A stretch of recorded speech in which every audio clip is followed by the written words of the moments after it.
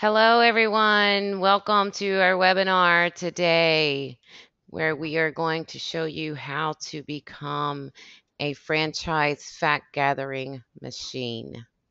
And today um, you're going to learn a lot of interesting information. You may want to write it all down. So if you haven't already, go ahead and grab a pen and a piece of paper so that you'll have that handy for any notes that you might want to take. Um, my name is Rhonda. I'm emceeing this webinar today for Joel, and I look forward to uh, talking to you guys more. We will go ahead and get started now. I'm going to introduce Joel and let him get all this information out to you guys. So I want to introduce the franchise king, Joel Libava. Thank you, Rhonda. Thank you very much. Hello, everybody. Welcome to this short webinar on researching a franchise. Uh, I am Joel Libava, the franchise king. Quick story. A lot of people always ask, Joel, why are you called the franchise king? Well, it's a pretty boring story, but it's short, um, and it'll give you uh, some time to get situated and get comfortable and get your feet up on the desk. So one day in Cleveland, Ohio, at the largest Beachwood, uh, the largest Chamber of Commerce event anywhere, uh, the Beachwood, Ohio Chamber, had a, uh, a, huge, huge uh, expo, a small business show, and the director of the chamber, who who knows me, uh, saw me from across the room as I walked into this huge event, and he yelled at the top of his lungs, "Hey, it's the franchise king!" So I said to myself, "That name's kind of cool." So I decided to use it as a brand. A friend of mine, Jim Kukral, a local online marketer and uh, ebook author expert, uh, suggested rather strongly that I hurry up and get that bad boy trademarked, which I did. So the Franchise King is officially trademarked. It was a few years ago, registered with the United States government, and it's official. And that's your really exciting story on how I became called uh, the Franchise King. So, what does that mean for you? Not much. No, I'm kidding. It means that I know a little more than you do about franchising and about researching a franchise. And I'm going to try to uh, uh, show you some really cool things, some cool tips and tricks that you could use uh, as you research franchises.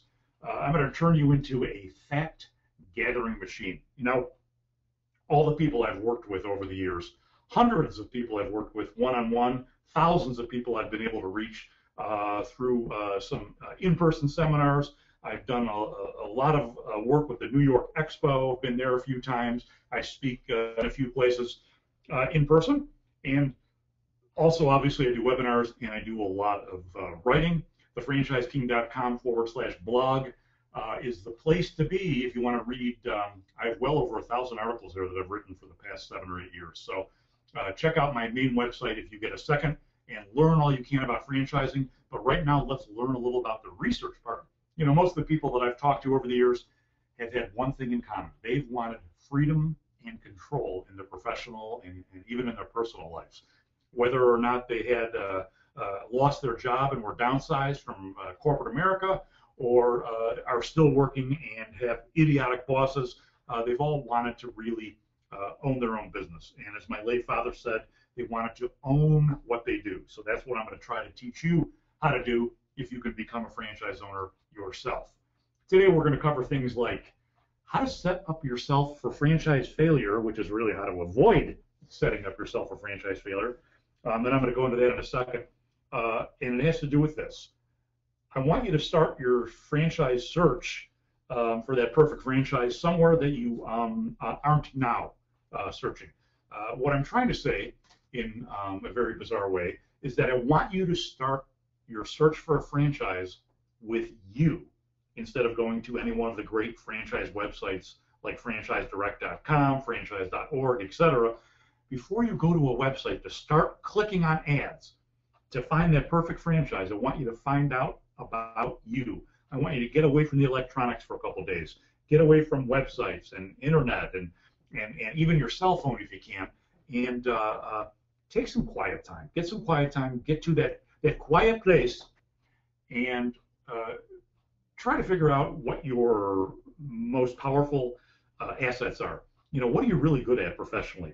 What are your top work skills? And then I want you to also uh, think about what are your dominant personal traits? Um, in other words, are you uh, outgoing or are you introverted? Uh, do you like things like uh, uh, being one-on-one with people, or prefer talking to people on the phone, or what do you like? You know, and and and, while you're doing this, start to kind of mold together all these things, so you have a list um, of things on a piece of paper that you can start really, really uh, dialing down into what the franchise is going to look like for you. And, and we'll get into that uh, a little more. But if you if you find a franchise or two that you're really really interested in, um, it kind of doesn't matter how good the franchise concept is if you don't do the research. You have to take the proper research steps, and that's and that's what this is really going to be mostly about. Uh, also, in franchising, there are some legal issues. You need to protect yourself, and when I say protect yourself, this is not the time to get free legal advice from Uncle Bob or Aunt Martha who really are your uncle and aunt and who have helped your family through the years with whatever uh, uh, little car accident fender benders, um, things with uh, neighbor neighbor disputes. You know, he ripped up my lawn and etc. This is the time to get a franchise attorney. Don't get free advice from an attorney who doesn't know anything about franchising. Pay for advice, pay for their expertise so you can cover yourself. Get a franchise attorney. You're also going to probably need a small business loan, and uh, uh, a lot of people go to the SBA. SBA.gov is a great website, and let me um, uh, give you a disclosure. Uh, I'm the exclusive writer on franchising for SBA.gov for their community section. Uh, I write a guest blog post uh, at least once a month, and you'll find about 30 articles at SBA.gov. Just uh, put franchises in the search box and you'll be able to find my articles uh, easily. And uh, they're very, very informational in nature. Getting back to the SBA real quick, the Small Business Administration does not provide loans. They provide guarantees to the banks that provide loans, and some of these banks are uh, in your local area.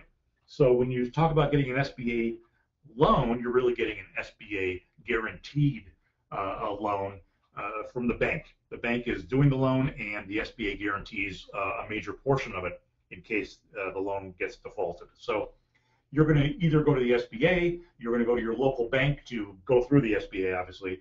Uh, you might use a small portion of your retirement, which I am 100% okay with if it's the if it's a small amount and if it's the right stage in your life. Um, and there are other ways to get loans also, sometimes family, friends, etc but you're going to be you're going to want to make sure that you look at more than one loan option, and we'll get into that. The beginning of the franchise exploration process can be really, really frustrating. Uh, there are over 3,000 different franchise opportunities to choose from just in the U.S. If you add Canada, there are hundreds more. Uh, so it can be really, really uh, overwhelming. Here's some here's some questions that you should ask yourself.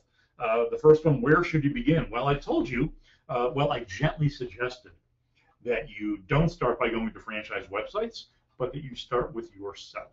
So make sure that you know what you're good at, what your personal traits are, the, the, the dominant ones, so you can start looking for opportunities that could be a match. That's how you choose. You don't choose a franchise because it's hot or because uh, your neighbor told you about it. Uh, you choose it because it's going to be a fit for you and for what you want out of a business. You will know if your choices are good ones if they fit what I'm talking about, if they fit what you want your business to look like and feel like, and if they fit your persona and and uh, a franchise that can allow you to utilize your top most important professional skills could be a winner and uh, uh, that's that's really how to make sure that your choices are good in addition to talking to existing franchisees of the concepts that you're looking at. Um, and I'll go into that in a little bit. The question that I really, really dislike the most when, when I talk to people, um, and I'm happy to answer it, but Joel, what is the hottest franchise? Or what are the hottest franchises? Well, you know, um, I even had a reporter call me uh, the other day and asked me, you know, what the best franchises were or what the hottest franchises were. Um, you know, uh, things that are based on opinion uh, usually don't go very far. Uh, things that are based on fact do go far. And I want to talk to you just for a second about uh, hot franchises. Uh, let's go to an old science experiment having to do with gravity. What comes up must come down. I just want you to have that picture. What goes up must come down because hot franchises can get cold. Remember that. When you're looking for franchises, you may or may not want to get involved with a franchise that is supposedly hot because hot does not last forever. So as you're searching around, you may be attracted to things that are supposedly hot, but I want you to look at them and think of a long-term view uh, as opposed to the short-term. Boy, it's hot now. Everyone's talking about this. You know, I got to do it. Be careful. Um, sometimes uh, things get cold pretty fast. The criteria for choosing one needs to be your criteria. You need to own it. This is about you. Um, it is only about you. Um, if you have a family, obviously your family's involved in the decision, but in general, and, and most importantly, this this is about you, and that's what your choice should become. Um, if you want to become a franchise owner, make it about you and make sure that you use the things that you're really, really good at in the business. So you have to find a business that will allow you to do that. You should look at, uh, I say, anywhere between 10 and 15 different franchise concepts as a first pass, and then limit it down to, I would say, less than five. Uh, once you start really digging into the research process, looking at more than two or three at the same time is challenging uh, uh, for anyone that's human. It's, it's, it's just really hard. And uh, it will take you anywhere from two to four months to find that perfect franchise and to end up actually signing on the dotted line. The folks that I've worked with over the years uh, have taken generally between 45 and 60 days from beginning to end, from searching, choosing, researching, and buying. So figure a couple months of your time for this process. Uh, don't do it too fast. And if you're really, really analytical, you don't want to do it too slow either. Uh, there's going to be that time where you're going to have to either say yes or say no. Um, don't analyze yourself out of the game because uh, you could pass up a good opportunity. That's just a gentle suggestion because you want to get this right. You want to discover the possibilities that maybe you haven't heard about. And the only way to do that is to start looking at all the franchise websites, but only if you have a real good focus on what it is you're looking for, the things that could really, really improve your chances of success. Put those pieces together, you know, use that list of yours and then match that list to the possibilities out there. You'll see if you do it my way, um, you will quickly be able to narrow things down.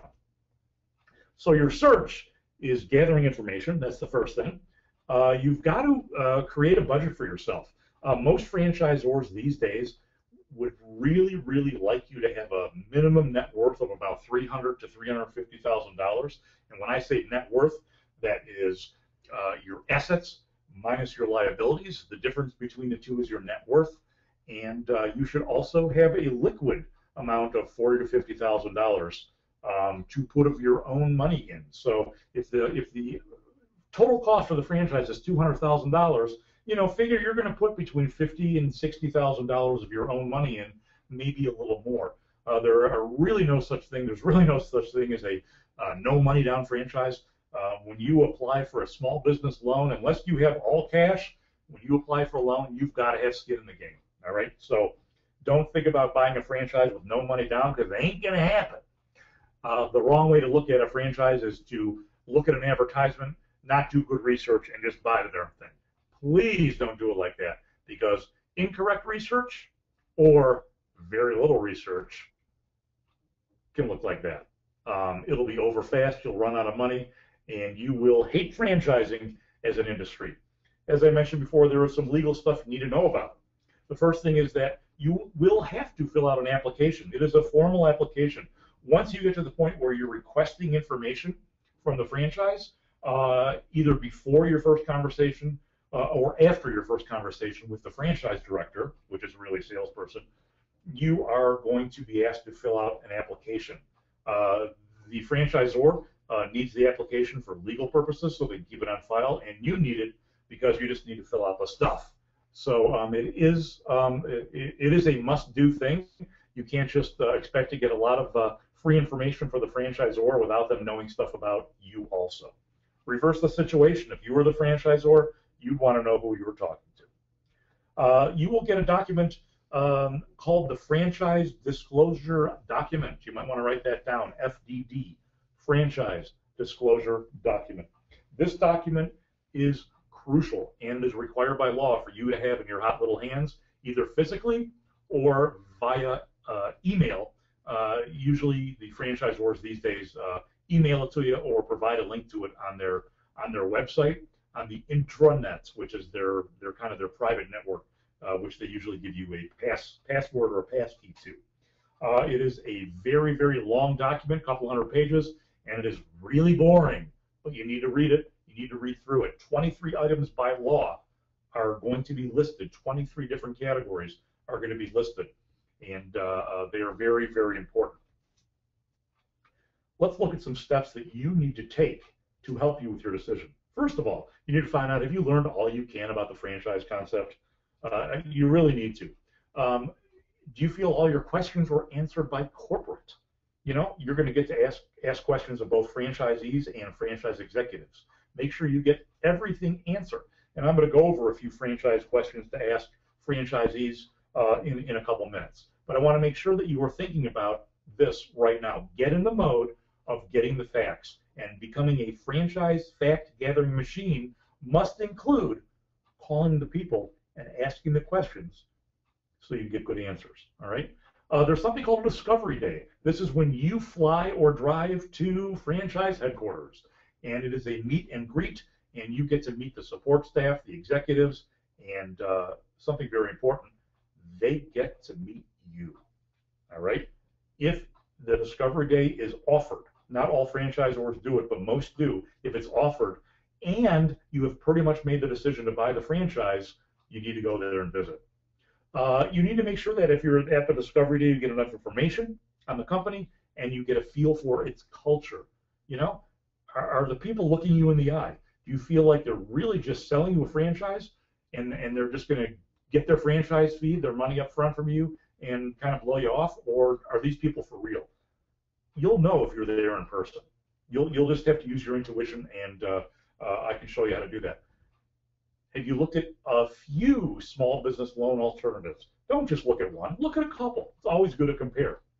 Did you get a franchise attorney to help you with the franchise disclosure document and your contract, which is in in it?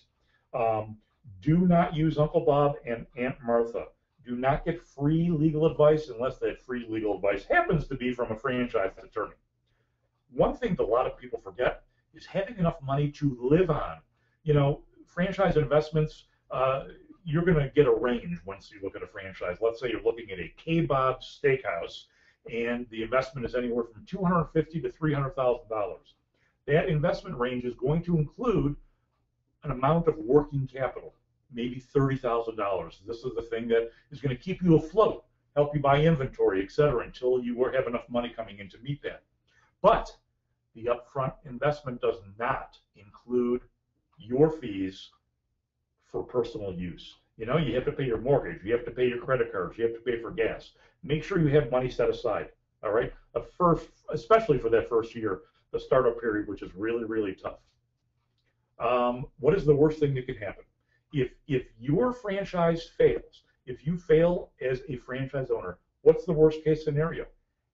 Go over this with an attorney Make sure you have a financial planner or an accountant to help you with the figures, and also make sure that you set up uh, your company the right way, whether it's a corporation, LLC, uh, or, or some other type of entity.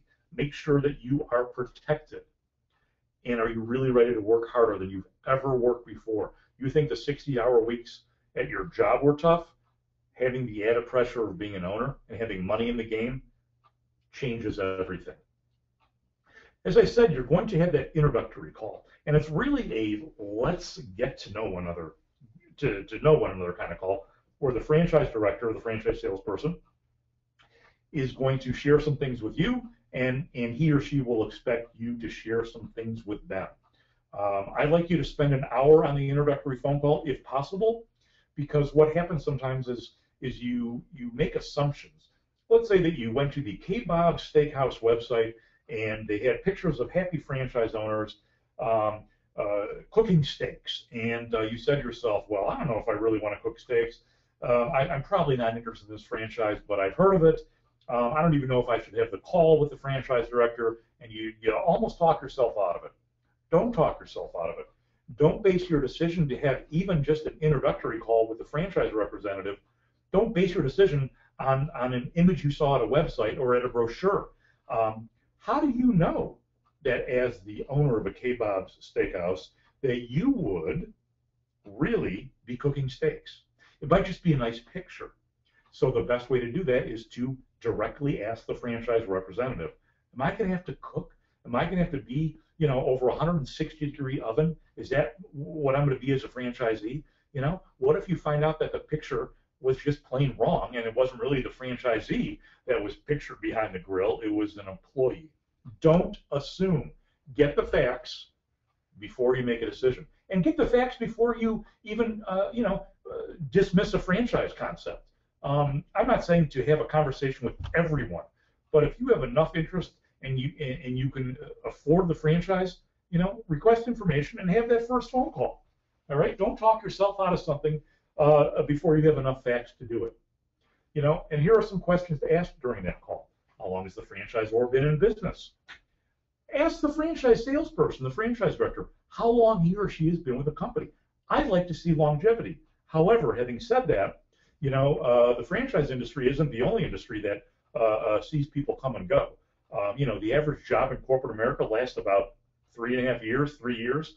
So um, I'm okay with people coming and going, but I know for me, when I was a franchise broker, when I used to get paid commission to match people up to franchises, which I don't anymore, by the way, um, uh, I used to really like the fact that the the representatives had a lot of time at, at, at the franchise companies you know, it was very comforting. It, it said to me that it's a solid company.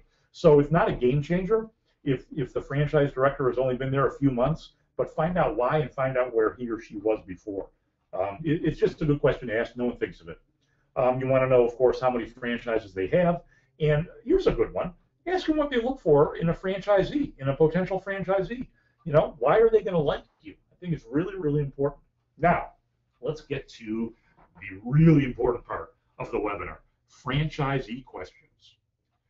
If you get far enough down the path and you show a lot of interest and the franchisor shows a lot of interest in you, um, it's going to be time to get on the phone and talk to existing franchisees. Uh, you are going to get a list of franchisees from the franchisor, most likely. Um, these are franchisees that are used to getting phone calls. Uh, most of them are going to be obviously pretty successful. Uh, but in the franchise disclosure document, there is a list of every franchisee that is currently in the system. And here's an added bonus, folks. Uh, there's a list of everyone that's left the system also in the franchise disclosure document. You can contact them too and find out why. And just because they're listed in that document does not mean that they failed and that they had to close down their business. They may have transferred it to a family member or sold it. Okay, a lot of stuff can happen. So once again, find out. You just ask. Anyway, here are some great questions to ask franchisees. The first one, how do you rate your training? You know, franchise salespeople, franchise development directors tend to, to say that their training is the best. We have top level training. It's unbelievable. It's a combination of online training and in person training. You know, it is the best in the business. Okay, great. I would say that too, but you would want to ask the franchisees how was the training? Was it what you expected? Here's a good one, and you might not want to ask it, especially if you're really emotionally attached to the franchise that you're that you're looking at because it, it just feels right and you're really excited. But I want you to ask it anyway. Are you aware of any unhappy franchises, franchisees? You know, ask the people you're calling, and I want you to call 10 to 15 franchisees. Um, ask the people you're calling if they know of any franchisees that are really, really unhappy. Here's why. You want to make sure that there aren't too many of them, and you want to make sure that there's not a pattern you know, if you're if you're working with a franchise company and you you you keep hearing over and over, oh, the franchisor, they're really nice people, especially at first. They're great at selling franchises, but man, once they get my money, I can't find them. You don't want to find that out after you write the check. All right, so find out if there's some un- unhappy franchisees and find out why. Ask this of the franchisee, the ones that you're calling. If you could do this over again, would you buy the same franchise? What a great question. Uh, you know, this one can be a game changer because it's it even though it's it's kind of a yes and no answer, yes or no answer.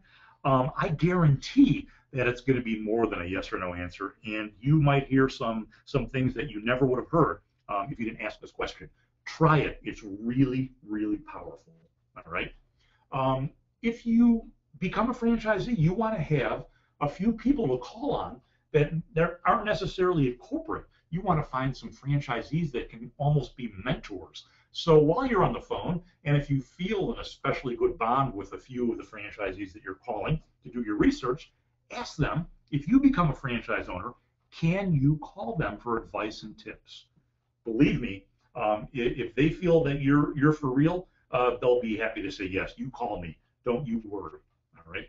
Very very important. Let's review a couple things now. You know, you, you're going to make some important decisions. These are life-changing decisions. If you don't do fantastic franchise research, you could end up losing your money. Plan your next steps. You know, is it is, is the next step for you calling a banker? Uh, is the next step for you getting a hold of an accountant to help you with a business plan? You know, what is the next step? Find out and then take action. You know, a lot of people talk about getting into business for themselves. Here's a little secret. Very few people do it because it's scary. Not everyone is cut out for the risk that, it, that is required to own a business. I don't care if it's a franchise business or an independent business startup. It's still risky. But the cool thing with franchising is that research does wonders. You just have to do great research. You know, you really have to ask the questions of the franchisees at the right time. For example, don't do this. Hi, this is Joel Libava calling. I live in Cleveland, Ohio, and I see that you're in Idaho. And even though you know there's no no chance I'm going to move to Idaho to buy a franchise, I figured I'd call you because um, you know you're far enough away, and I figure you'll you'll answer my questions honestly. Is that okay, uh, Miss, Mr. Jones? Well, sure, uh, Joel from Cleveland. Go go right ahead. What would you like to know? Well, Mr. Jones, um, how much you making? How much money do you make?